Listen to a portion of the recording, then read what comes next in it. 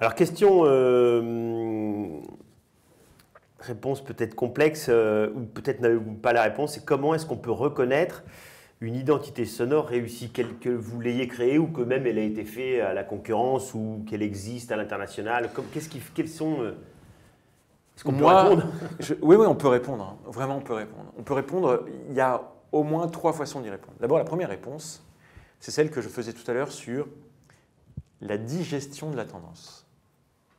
Vous avez des musiques, quand vous les écoutez, vous savez leur durée de vie. Et euh, ici, l'équipe peut en juger. Hein. Quand je, fais souvent des petits jeux avec l'équipe, des petits paris, on les perd assez rarement. On sait très bien quelle musique va rester ou quelle musique ne va pas rester. Donc ça, c'est la première chose, c'est la capacité. Si vous êtes vraiment dans la tendance du moment et que vous ne savez pas la dépasser, on est, nous, capables de le décoder. La deuxième chose, c'est la capacité d'une musique à aller au bout de son concept. Je m'explique. Moi, je crois que dans le monde actuel, une marque doit veiller à être euh, légitime, juste vis-à-vis d'elle-même. Mais que beaucoup, parce qu'il y a beaucoup d'enjeux, il y a beaucoup de pression, il y a beaucoup d'intervenants, n'ont pas compris que si on déplaçait l'angle de vision et qu'on se situait non pas sous l'angle de la marque, mais sous l'angle de ceux à qui on s'adresse, il y a un élément clé qui est la simplicité. Si les choses sont justes, mais qu'elles sont complexes, alors elles nécessitent un temps pour qu'on les appréhende, pour qu'on s'en inspire et pour qu'on se les approprie, qui, n'est pas compatible avec les temps que nous vivons. De mon point de vue, c'est un deuxième critère. On voit bien que si on arrive à dire les choses de façon plus simple, alors on gagne un territoire, on gagne une audience, on gagne finalement une capacité qui est sans rapport. Moi, je, le répète, euh, je pense, on me, pose en permanence la question pourquoi est-ce que l'identité de la SNCF est un tel succès? Pourquoi est-ce que, et c'est vrai, moi qui voyage beaucoup, euh, on m'en parle partout. Mais quand je dis partout, c'est vraiment, euh, je ne sais pas, hier j'ai rencontré des, des gens qui venaient de, de Singapour. Alors ils sont passés par Londres et donc ils sont arrivés en France en Eurostar. Ils ne savent pas. Ils savent pas qui je suis.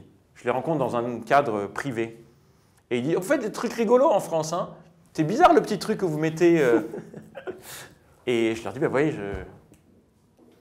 Ils me disent, eh ben, eh ben, il est étonnant votre son, j'ai jamais entendu un truc comme ça. Mais en réalité, si ça faisait 47 notes, euh, si c'était complexe, effectivement, on pourrait attraper quelque chose, mais on n'attraperait pas le, travail dans sa globalité. Et donc, la capacité à porter une marque serait bien amoindrie. Je crois que la deuxième réponse, c'est celle de la simplicité. Oui, si vous travaillez efficacement, mais avec euh, des réponses complexes, vous entachez le potentiel de votre travail. puis la troisième réponse, elle m'est personnelle. Moi, je crois que le succès d'une identité sonore, c'est la capacité à équilibrer ce à quoi on s'attend et ce à quoi on ne pouvait pas s'attendre. C'est-à-dire ce que moi j'appelle le poil à gratter légitime. Je pense que euh, tout à l'heure vous m'interrogez sur la différence et je vous disais que c'est plus la singularité légitime qui m'intéressait. Eh bien je crois que c'est ça. Qu'est-ce qui fait que euh, l'identité nord de Peugeot, en peu de temps, à la fois s'est installée de façon très simple et très distinctive. Pourquoi est-ce que euh, Samsung, euh, qui vient nous chercher en 2004 et qui nous dit vous allez créer notre identité monde, euh, pourquoi au départ du bon on va, seulement faire ça en Europe et puis très vite ils se rendent compte que ça marche et qu'ils le mettent partout? Parce qu'ils ont trouvé que c'était étonnant et pour autant juste pour eux. Cette, cette logique-là de bizarrerie légitime, c'est ce qui, moi, me fait penser que s'il y a que de la bizarrerie et qu'elle n'est pas légitime, alors finalement, on n'est pas chez soi. Si on est très légitime, sans originalité, sans bizarrerie, finalement, on participe à une sorte de confusion parce que ça veut dire qu'on ressemble aux autres. Comment est-ce qu'on est, soi-même, sans se caricaturer, mais sans non plus se perdre dans la masse? Cette question qui se pose à beaucoup de designers, euh, et pas simplement dans du design de marque, je pense qu'elle se pose de façon aussi simple dans le domaine euh, musicale et sonore, se poser de façon simple ne veut pas dire que c'est simple d'y répondre. Alors j'ai vu dans les multiples propositions euh, autour du, du- son et, et des marques hein, que vous proposiez aussi dans les contextes d'assemblée générale ou de convention par exemple, des mises en scène musicales. Est-ce que c'est quoi? Ça consiste à créer une playlist ou? La musique, c'est un élément de langage, ce que je disais tout à l'heure. En tout cas, c'est comme ça que nous, on le vit chez nous. Toutes les assemblées générales, tous les grands événements commencent par de la musique. Non. On va rentrer dans une période d'élection. On va voir les clips de campagne arriver. On va voir les meetings hein, arriver. Et on va encore bien se marrer. Pourquoi? Parce que ce qui, au départ, a l'air d'être un, un exercice simple d'ouverture musicale pour faire sympa, porte en réalité à la fois une charge émotionnelle et un enjeu fonctionnel simple. C'est un peu comme, si, comme quand vous allez au restaurant. Vous savez, au restaurant, euh, vous avez de plus en plus de restaurants qui vous mettent un petit amuse-bouche en entrée. C'est le petit plus. Mais en réalité, ce qui se joue là, c'est un peu comme la musique d'une assemblée générale. Avec ce petit amuse-bouche, vous allez vous faire une idée de ce qui va se passer derrière. Et la mise en condition, elle va être positive ou négative. Elle vous prépare à adhérer ou elle vous rend méfiant. Voilà pourquoi la mise en scène, je reprends votre terme, la mise en scène musicale est importante. Parce qu'il vaut mieux ne rien mettre que de se tromper. Et il y a beaucoup de façons de se tromper. Est-ce que vous allez jusqu'à des détails comme euh, par exemple la, la spatialisa- la spatialisation?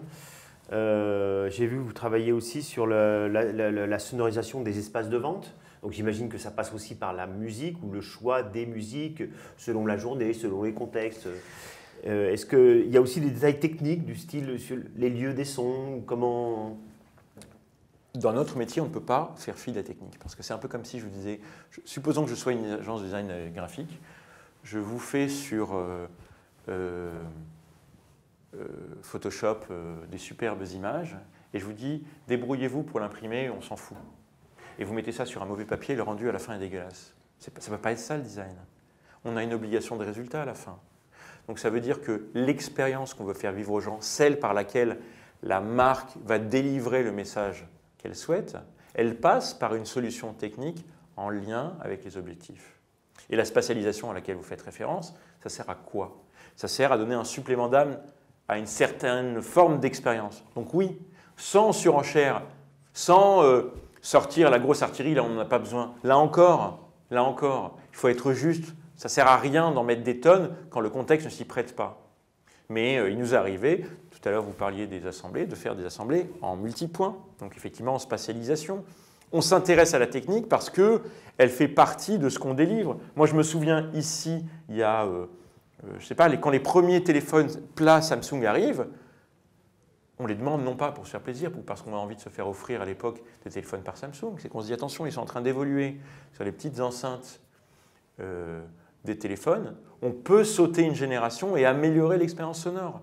Bien sûr que la technique nous intéresse. Et elle nous intéresse dans tous les domaines. Elle nous intéresse. La téléphonie sur IP a changé la perception sonore euh, des messages téléphoniques. On n'est plus du tout soumis à la même bande passante. Ça a un avantage pour nous. Ça a d'autres contraintes, mais ça a des avantages. Bien sûr, on est contraint de se, finalement, de s'immerger dans les potentiels techniques que le progrès nous offre. Alors justement, euh, sur ces deux dernières décennies, euh, le, le- le- le- le- le nu- le numérique a tout changé. Il a évidemment euh, changé euh, vos outils, j'imagine, vos traitements, enfin tout ce que vous évoquiez tout à l'heure. Qu'est-ce qui, selon vous, a le, a a a le- plus euh, évolué du fait du digital euh, sur ces dernières décennies, deux dernières décennies? Oui, c'est Tout. ouais. Tout, euh, tout. Regardez, tout ça va du fait que il nous faut, euh, nous faut une minute pour que nos contenus partent d'ici et qu'ils arrivent. euh, je sais pas, on a fait une livraison euh, euh, hier en Inde et avant-hier au Mexique. Bon, on, on- on, travaille, on collabore avec les différents bureaux de 6e son. Donc 6e son a des bureaux à Paris, à Barcelone, à Moscou, à Chicago, à New York. Et pour autant, on n'est qu'une seule équipe. Sans ça, sans le numérique, c'est pas jouable de la même façon. L'outil de création, la puissance de feu euh, euh, créatif qu'est la nôtre, tout, tout. Et du côté du client, tout, parce que par exemple, tous les nouveaux outils de communication numérique sont sonores. Donc autant d'opportunités pour porter une identité sonore, pour porter une incarnation sonore. Tout. Euh, du point de vue de... En visitant tout à l'heure, on a vu ici une batterie, euh, là un piano. On a deviné les postes qui étaient plutôt dédiés à la, à la création musicale, avec des timelines. Euh. Est-ce que, j'imagine que de temps en temps, vous enregistrez des sons qui sont joués ici? Ah, pas de temps en temps. C'est à peu près, tout le temps. À peu près tout le temps. J'imagine que vous travaillez aussi avec des, des, des, bases de samples, hein, des bases de données de samples. Peut-être même vous faites des enregistrements du style field recording euh, en allant, euh, je, ne sais où, euh, dans une usine par exemple. Alors moi, un de mes bonheurs chez Sixième Son, c'est qu'on fait ce qu'on pense être le mieux. On a la chance de plus être limité en termes de moyens. Si on veut un orchestre, on va prendre un orchestre. Si on veut bricoler, on bricole. Si on veut. On, a la chance, avec l'équipe formidable qui m'entoure, aujourd'hui, de, faire vraiment, vraiment, vraiment avec tous les moyens qu'on souhaite. Et, et je, crois que ça fait bien.